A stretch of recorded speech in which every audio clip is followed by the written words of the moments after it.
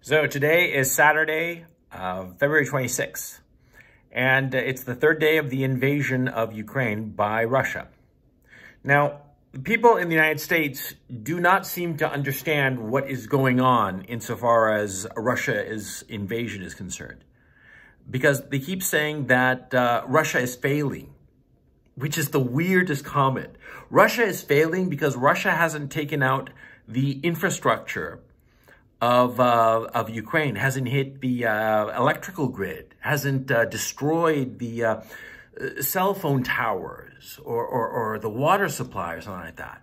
Uh, it, it, it's just remarkable. They, they keep insisting that the Russians seem to advance and then retreat whenever they meet any resistance. Mm?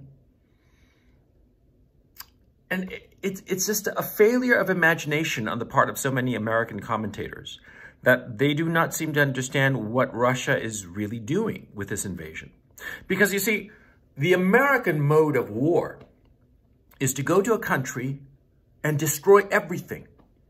Destroy the electrical grid, cell towers, the water supply system, everything. Just destroy the whole thing and then roll in. That's not fighting a war. That's just uh, mopping up the total annihilation of a country. And the United States has done this repeatedly in Afghanistan, in Iraq, in Libya, in Syria, or they semi-tried to do it in Syria. I mean, it's really kind of like a despicable way of, of making war, right? But what are the Russians doing? Well, see, the Russians, they don't want to destroy Ukraine. No, they don't want to destroy it at all. What they want to do is they want to capture it intact. See? And they don't want to hurt the civilians. Why would they? From their point of view, if they harm civilians, they just create enemies.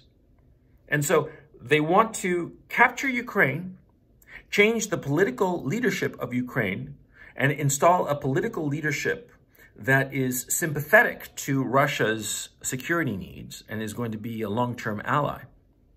But they don't want to alienate the Ukrainian population. Because if they alienate the Ukrainian population, well, the Ukrainian population will eventually overthrow this puppet regime. And the Russians want to install a puppet regime. Let's not pretend otherwise. But they want to install a puppet regime whereby the Ukrainian citizens are more or less indifferent to it. They don't want to install a puppet regime after having made the lives of Ukrainians so miserable. So that's why they don't want to destroy Ukraine or harm the Ukrainian populace. They want to capture Ukraine intact, change the political leadership, and then let it go. Of course, because they don't want to manage Ukraine. They don't want it to be a burden on them. They don't want that long term. And so what are they doing? They are rapidly invading the whole country, and, and everybody concedes that they're moving very, very quickly. But they're not hitting any civilian infrastructure. They're only hitting military targets.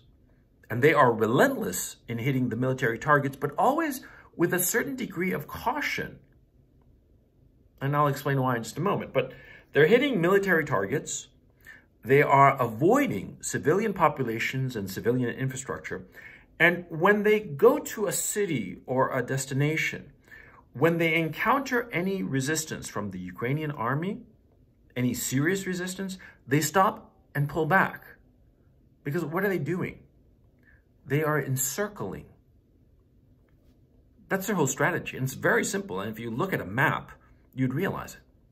What the Russians are doing is that whenever they go to a major city like Kiev, like Kharkov, and soon enough they're going to be in Dnipro, when they get to those cities, they go up to those cities and they meet some resistance and then they pull back and they allow their forces to start to surround it. And that's the strategy they're employing in Kiev. That's the strategy that they're employing in Kharkov. They are encircling these cities, and once they've completely encircled them, what will they do? They'll wait. That's what they'll do. See, if you surround a city, all you have to do is just wait around. Eventually it'll fall, of course. And so the Russians are systematically surrounding all of the major cities. And whenever they come across a smaller town or, or village, they just advance and cover it and capture it and move on and continue with their advance. Whenever they meet any kind of serious resistance, they stop, pull back, and then encircle.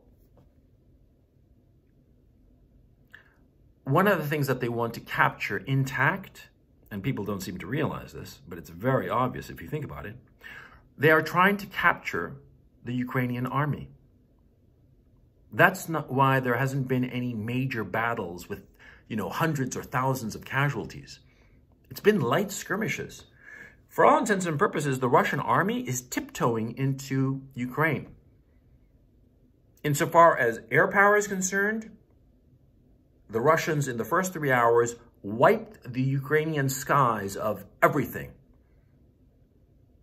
The Russians own the Ukrainian skies. Any plane flying is Russian.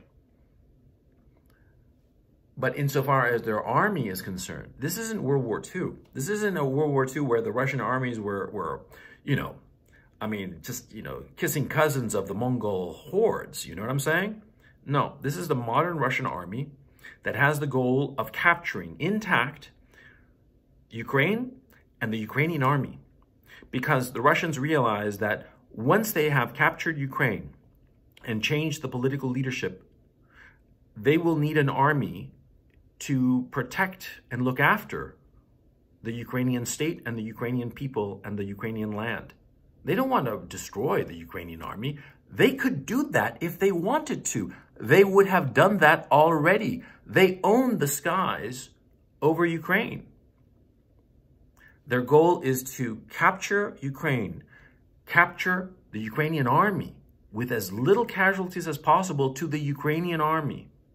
And that's why whenever they come up against serious Ukrainian resistance, they keep consistently pulling back. And in the West, this is interpreted as the Russians are weak, which is so weird. Mm -hmm. It's like the Russians are so weak, they're not advancing as fast. I mean, well, that is a separate issue that I'm going to get to in just a moment. But the Russians are so weak because they're not obliterating the Ukrainian army. Because that's what the Americans do. They obliterate anything that crosses their path. Friend or foe, they don't really care. But the Russians do care. That's why they're not obliterating the Ukrainian army when they could. A friend of mine, Alex Christoforou, uh, and the Duran, great show, he pointed out something that I'd never considered, which is very obvious. He pointed out the fact that, you see, the current Ukrainian leadership in the military, the generals, in Ukraine, they went to military academies with the generals of the Russian armies. They're drinking buddies since when they were back in like 18-year-old, 19-year-old uh, plebes. Mm? They know each other. They don't want to kill each other. Of course not. I mean, you've got some buddy when you were drinking out when you were 18, right? You want to kill him? No, you could be on opposing sides of whatever contest, but you don't want to hurt him. Of course not. Uh, you'll be pissed off at him maybe, but you don't want to kill him. The Russian army doesn't want to destroy the Ukrainian army. They could have done it already in these three days of combat.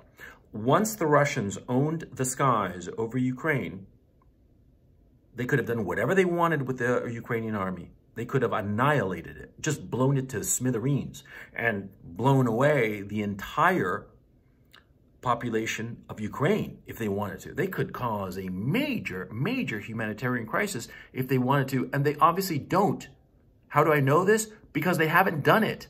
They have had the opportunity for three days to do it, and they haven't done it.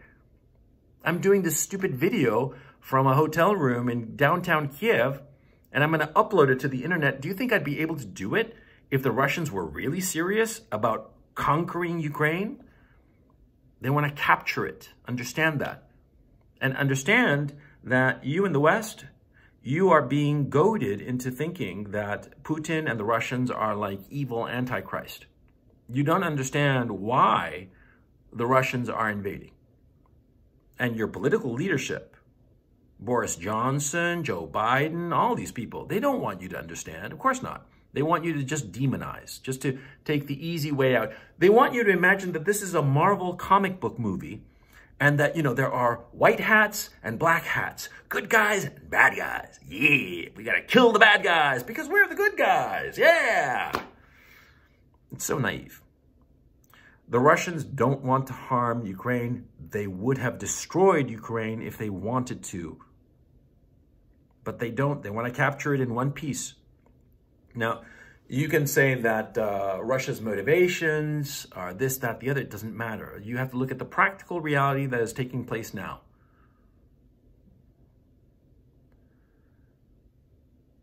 What really bothers me, and perhaps this isn't a wise thing for me to say while I'm still in Ukraine under the Zelensky regime.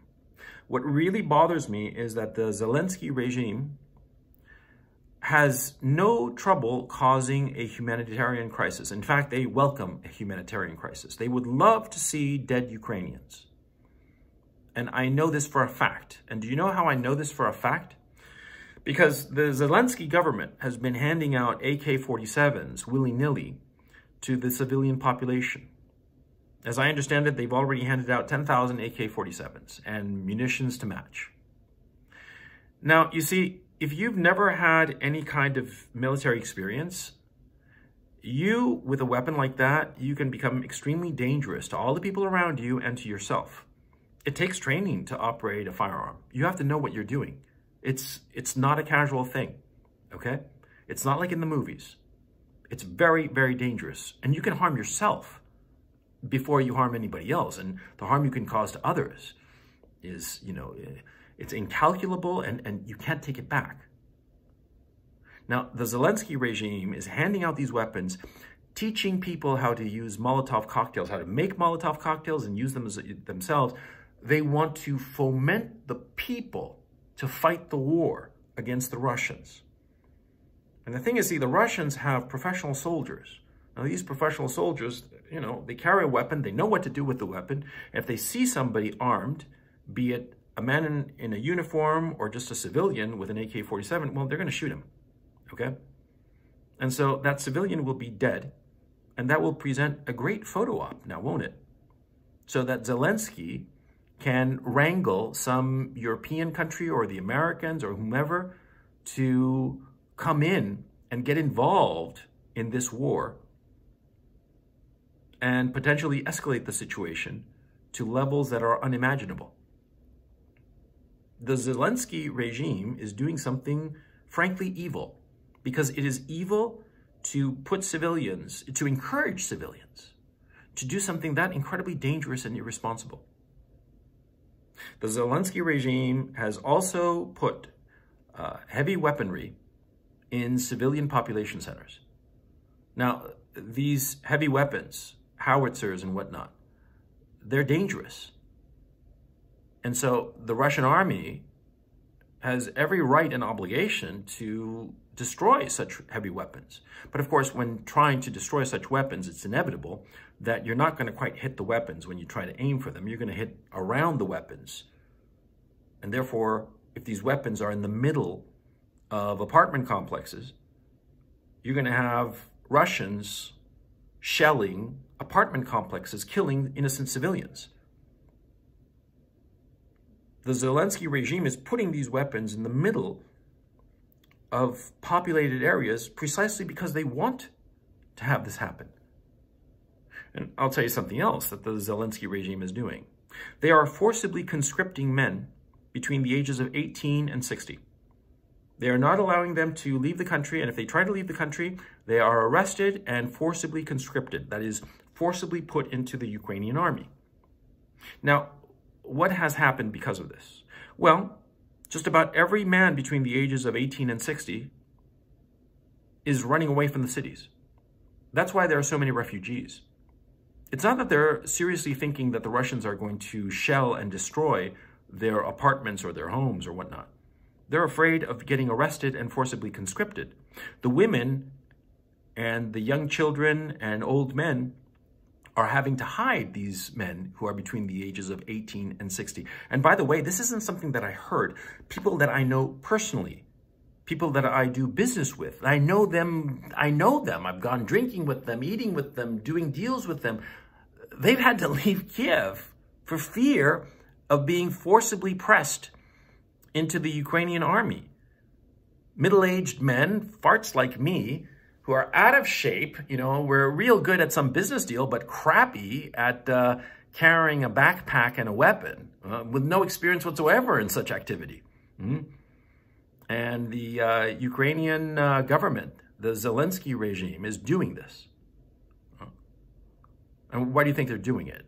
Well, first of all, you don't forcibly conscript men into your army if you think that you're winning. Now, do you? Of course not. Number one. And number two, by having this forcible conscription, you scare all the men and you create, all on your own, a whole class of refugees, of people fleeing the cities. They're not afraid of the Russians. They're afraid of the Ukrainian regime that is trying to press them into service. That's what's going on. And so you see all the video images of people fleeing the city, and you in the West, you in the United States and Western Europe think, oh, they're afraid of the Russians. No, they're afraid of the Zelensky regime. But I have to say that the issue of handing out weapons to civilians who don't know how to handle them. That is the thing I find most despicable. Because they are willing to have these poor civilians who know nothing of weaponry become martyrs. Because the Russian soldiers who see some civilian with a gun, well, what do you think he's going to do? Hmm? He's going to shoot him. And that innocent civilian who doesn't even know how to hold the damn weapon is going to die needlessly for nothing, for absolutely nothing. And I find that despicable. I find that truly evil. Mm-hmm. Also, the Zelensky regime can get a nice photo op. That's what's going on. And if you want to say that the message I'm saying is pro-Russian or pro-Putin or I'm a Putin stooge or useful idiot or whatever, fine. I don't care. I mean, I don't really care your opinion, man. I don't give a fuck what you think about me. I'm telling you the truth. I'm here. I'm here in Kiev, in the downtown, waiting for the Russians to invade the damn place, huh? So I know what I'm talking about. None of this stuff is appearing in the mainstream media now, is it, huh? Because I'm not following the American or European mainstream media because I know it's just a pack of lies but probably what I'm saying in this video, you haven't heard it. Well, now you're hearing it. Hmm? And think a little bit, huh? I mean, in this channel, what have I always told you, stupid motherfuckers, huh? Think for yourself. Think. Look at the information that you have available and ask yourself why something is happening the way it's happening. Hmm? It's not arbitrary. It's not by chance. People have thought through what they are doing. The Russians have certainly thought through what they're doing. The best that we can hope for is that the Zelensky regime fails in its attempt to wrangle in the Europeans and the Americans into this war. And the Zelensky regime collapses or flees or whatever, and Russia is able to take Ukraine in one piece without harming too many people. Hmm? And that's the best that we can hope for. Or if not, the whole country will be destroyed. Millions of people will be displaced, hundreds of thousands, perhaps even millions killed. And this is the exact same thing that happened in Iraq. Let's hope that we don't have a second Iraq.